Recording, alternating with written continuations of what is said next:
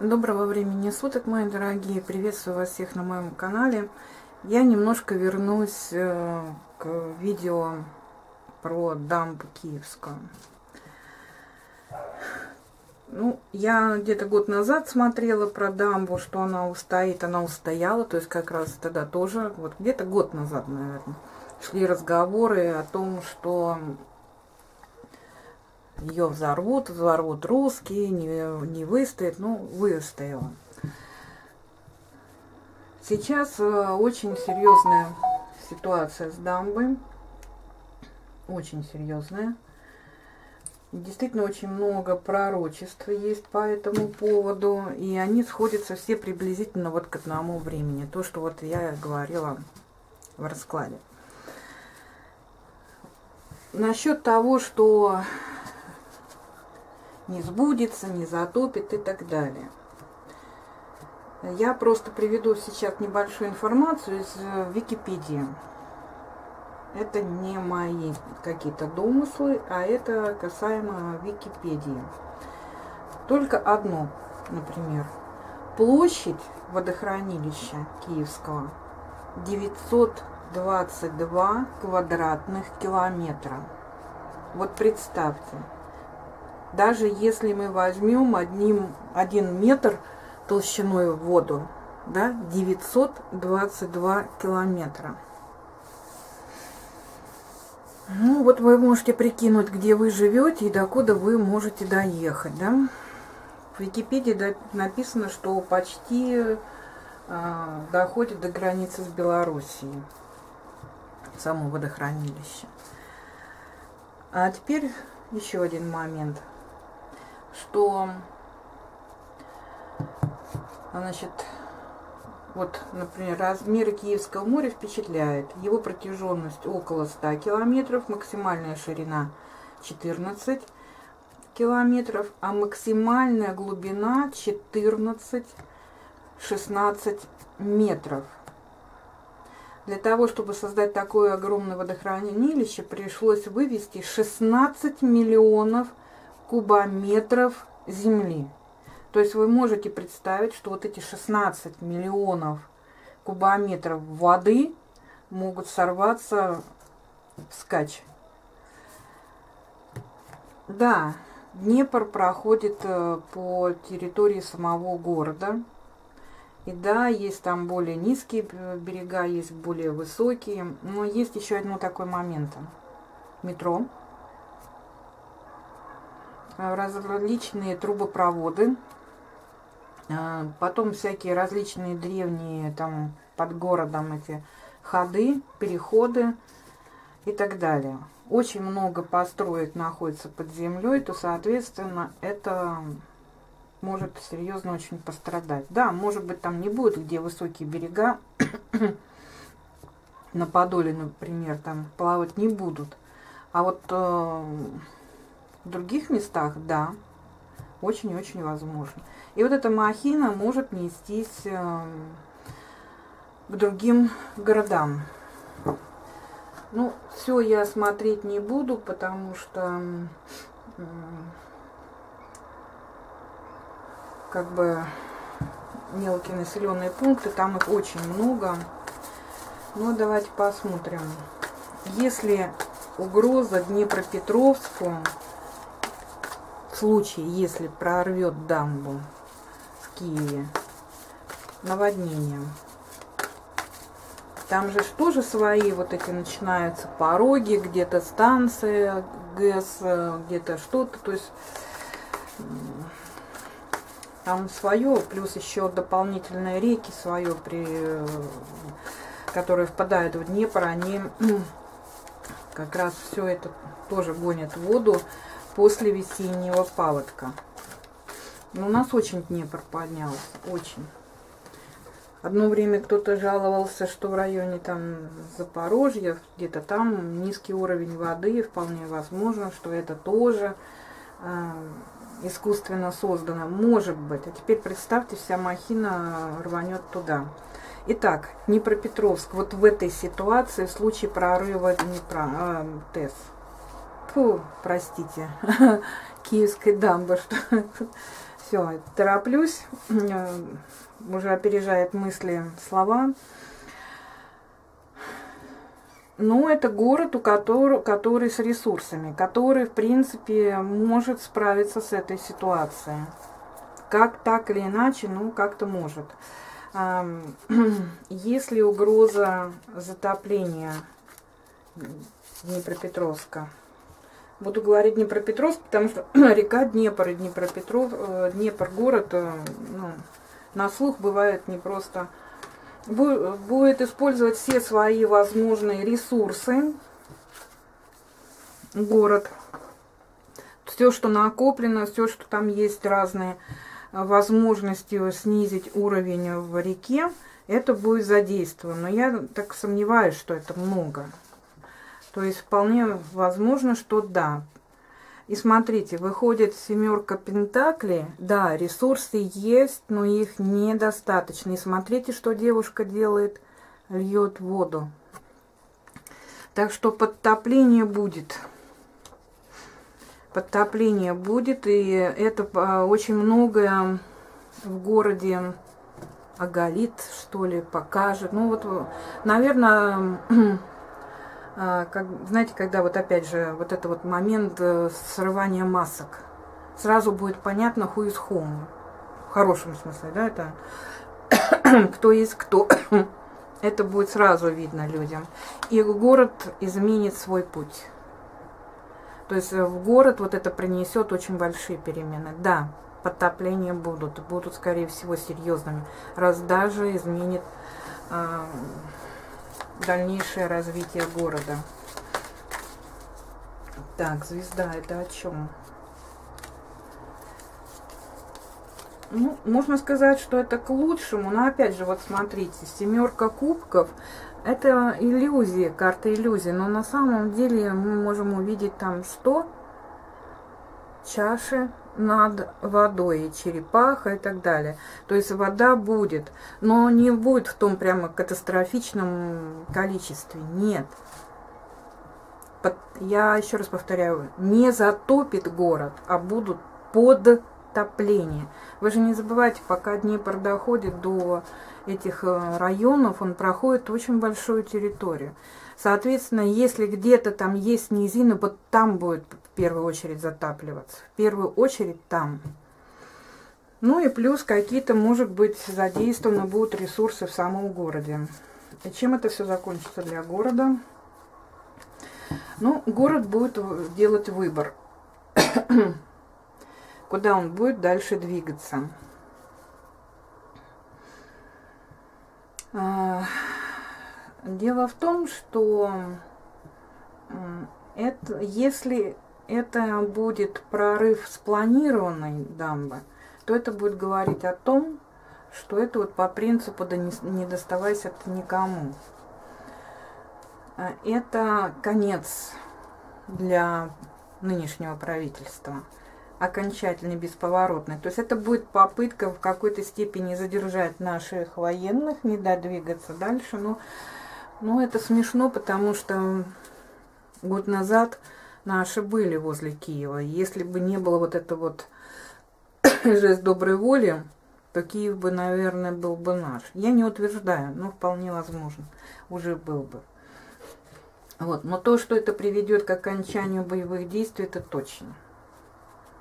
Потому что, ну, во-первых, это пройдется по территории, которая на нынешний момент подконтрольна Украине. И только там, в конце, да, есть Запорож... Запорожье, Запорожская область, Херсон. Вот. Это вот единственное. А остальное это в первую очередь пострадает. В первую очередь затопит различные низины вблизи Киева. И дальше, дальше, дальше вот так будет двигаться. А вот. А городу придется выбирать либо, ну, чемодан-вокзал Европа, либо принимают условия России.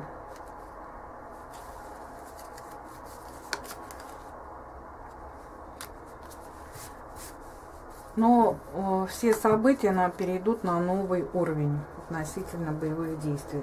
Это не обязательно могут быть боевые действия. Это будет какой-то что-то новое.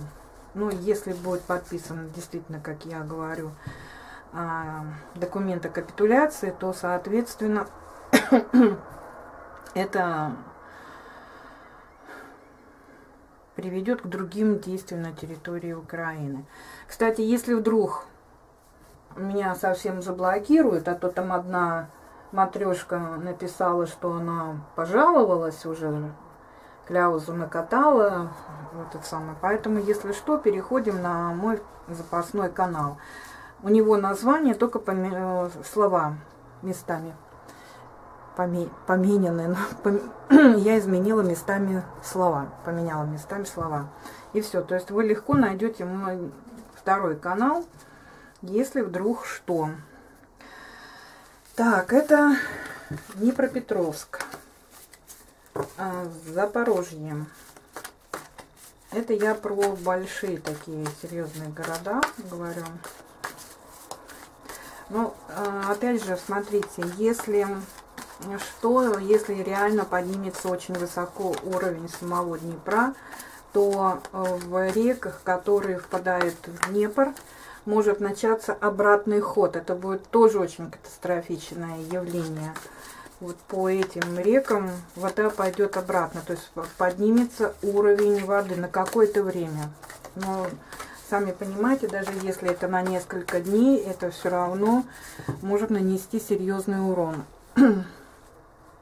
Запорожье в этой ситуации, вот с прорывом дамбы. Ну, Запорожье будет оставаться или находиться под контролем ну, более влиятельных кого-то.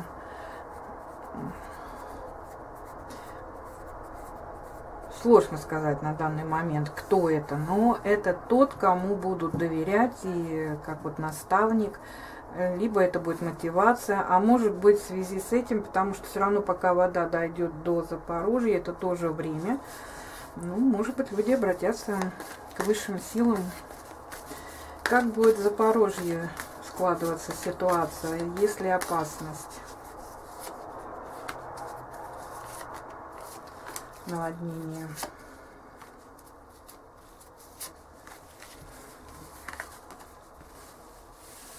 Да, очень серьезная опасность есть. Будут разрушения. Ну, скорее всего, смотрите, э, так как э, в Запорожье есть свое водохранилище и дамба, то вот эта дамба как раз может быть и разрушена, потому что обычно я это смотрю карту как разрушение каких-то административных э, зданий. То есть это не то, что жилой там комплекс людей, нет, а именно как административно. Так что вполне возможно будет разрушена, тем более она повреждена, дамба, которая вот в районе Запорожья есть.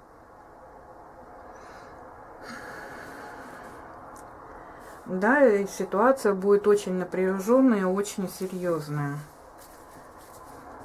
Но именно вот так вот, как прямо затопление, я тоже не вижу. Подтопления будут. Ну и тоже вот, смотрите, интересно. Э, на Днепропетровск вышла звезда, это изменение пути. Здесь то же самое, изменение пути. Новый путь, который надо будет просто довериться, потому что ну, конечно, страшно и непонятно, что там впереди. Ну вот и договор о том, что город будут сдавать, потому что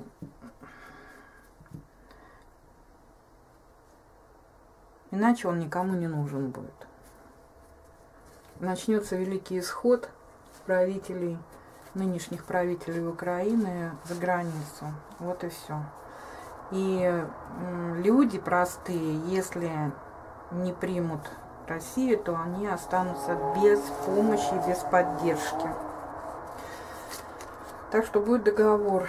И это откроет новые возможности для жителей города. И чем в конце концов закончится? Ну вот, восстановлением восстановлением вот этого русла, вот этого всего, то есть постепенно потом город будет восстанавливаться. Хотя здесь вот как раз мы видим несущуюся как бы щелью воду, да, то есть есть опасность. Но после этой опасности все-таки карта это э, э, туз кубков. Это, в общем-то, благоприятная карта. Это карта удачи. Поэтому даже если будут какие-то разрушения, соответственно, будут потом восстанавливать. Так, это Запорожье. Еще очень важный момент. Запорожская АЭС. Вот в том случае, если будет прорыв дамбы. Неважно, какой из-за старости или целенаправленно. Но смотрите, как бы то ни было, такой вариант развития событий есть. То есть его исключать никак нельзя. Слишком много людей получали информацию об этом и более ранние сейчас, поэтому к этому нужно быть готовым. Верите вы в это, не верите, будет это, не будет, неважно. Главное, вы должны понимать, что вы в этой ситуации будете делать. Итак, Запорожская атомная. Ну, смотрите, как интересно. Выходит та же самая карта, что и у самого Запорожья.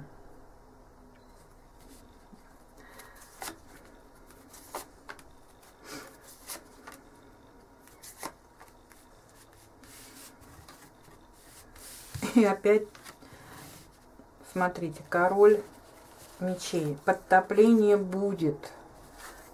Подтопление будет, а, но будет это самозадействованы все возможные ресурсы, чтобы станцию спасать. Возможно, будет э, пожар. Ну, потому что если на электричество попадает вода, то вполне это может быть, да? А вот, но при этом еще и это будет э, пересмотрен, ну, всем людям, которые там находятся и где-то живут рядом, нужно будет полностью пересматривать свою жизнь и что-то предпринимать, чтобы изменить свою жизнь. И будут разрушения, и, возможно, потери, потому что там свое водохранилище есть. И если туда придет вода, то она поднимет уровень. Это нужно тоже понимать. Очень много будет переживаний, расстройств. Но, как говорится, наши победят наши смогут достигнуть той цели, чтобы сохранить атомную станцию. То есть катастрофы еще и на атомной станции не будет. Ну вот, и это самое, будут э, задействованы все ресурсы для того, чтобы сохранить саму станцию, восстановить то, что там может быть разрушено, и, и соответственно, рядом расположенные города ну, городки и населенные пункты поменьше. Вот. Так, это мы с вами посмотрели. Еще очень важный город Херсон. Там ситуация вообще еще может быть с моей точки зрения. Я не как это гидроинженеры там. Нет, я этого точно не могу вам утверждать, но у меня ощущение такое, что там будет ситуация сложнее. Почему? Это все-таки устье реки. Там и так много, да, куда река как бы разделяется. И потом река впадает дальше. А вот, соответственно, там идет противостояние того количества воды, куда это самое будет впадать этот напор. Плюс там же еще и вода-то идет соленая, то есть она имеет большую плотность. Так. Сейчас попробую, извините, тут одну минутку потерпите, я карту хочу найти. Именно устье реки. Тут Смоленск наш показан. Так, река.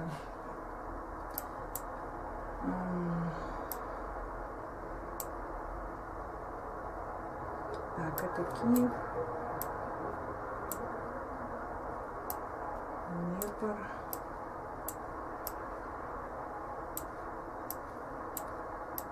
А, еще Кременчуг по дороге пострадает, там свое водохранилище прямо на этом, на реке. Ну и вот Каховское водохранилище. И вот Херсон. Дальше идет Лиман, там тоже узкое такое горло получается.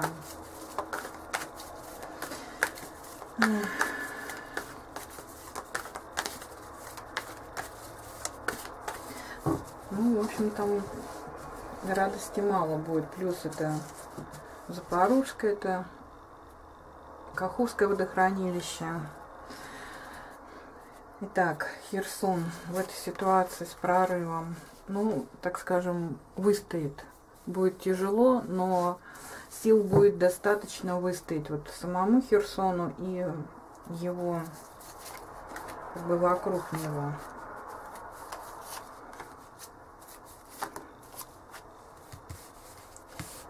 Так. Придется очень много прикладывать усилий, и ситуация будет безвыходная. Ну вот, и разрушения будут. Что там есть в районе Херсона такого, что вот как административное что-то будет разрушено. Ну, это, наверное, этот э, ну, мост окончательно будет разрушен. Потом там это пристань. Вот это вот, скорее всего, это будет разрушено. Ну и, конечно, очень много переживаний. И опять же, начало нового пути для Херсона. Смотрите, во всех городах выходит обязательно новое направление, новый путь будет восстановление города. Конечно, будет очень много и переживаний, и потерь, но и опять же вот выходит договоренность. И чем это все закончится?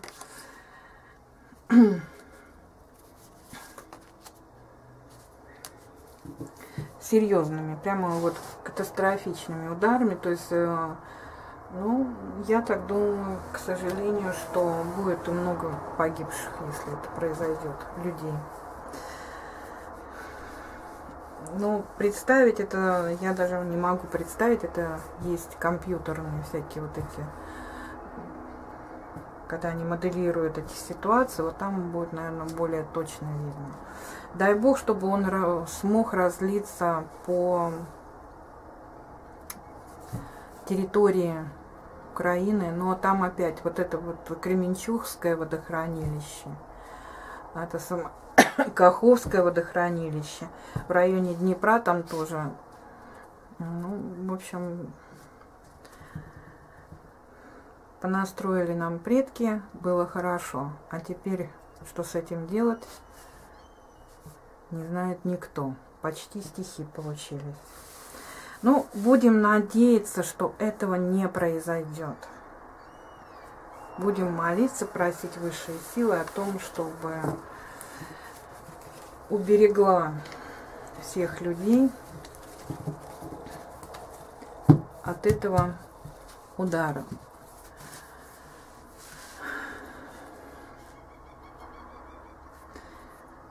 Мне говорили, что про, ну, люди пострадают. Так вот, хочу предупредить, кто действительно верующий, неважно какого вы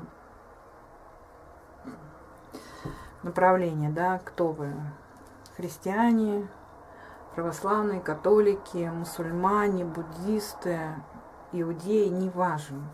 Но если вы действительно верите, верите в единого Бога, то вы получите предупреждение о надвигающейся опасности. Помните, как в Библии, да, это самое, вот где верующие Пасха – где живут истинно верующие, то на дверях поставить крест. Почему во время Пасхи священники ходят, ставят крест, на дверях мелом рисуют. А, это говорит о том, что там верующие люди, и они будут спасены. Так и тут тоже. Кто будет истинно верующий, он получит предупреждение заранее. Главное услышать это предупреждение или увидеть знаки, которые будут говорить об этом. Ну, желаю вам всем мирного неба над головой. Желаю украинцам, чтобы не произошло этой катастрофы. Очень все это самое к этому идет, но хочется, чтобы ее все-таки не произошло. Ну а в недалеком будущем осталось немного Конечно, времени, не будет, не будет и летом. Это будет позже. А, это скорее будет не раньше декабря, а может быть даже следующего года, потому что меня предупреждали, что два года, а я получила предупреждение в декабре 22 то есть, соответственно, в декабре 24 Америки не станет. Земля столкнется с небом. Будет удар метеорита. Вот такой расклад получается. Если вот это произойдет, то это сто процентов конец всей этой самой горячей фазы боевых действий. Но в любом случае, я еще раз повторяю, для тех, кто случайно зашел на мой канал, либо кто-то вот недавно подписался, не смотрел все мои видео, я еще раз говорю, все закончится к концу лета, начало августа. Все это что? Это горячее, вот это вот сами боевые действия. И это закончится подписанием капитуляции. Документ Украиной. Вот. Ну, а там вот как мне тут э, одна из подписчиц скидывала ссылку на видео, там кто-то тоже собрал предсказания монахов, может быть, он и сам э, из этих верующих, не знаю. Там тоже очень об этом сказано, что так и будет. То есть со всех сторон подтверждения идут, и что именно будет вот в это время. Так что ждем и молимся.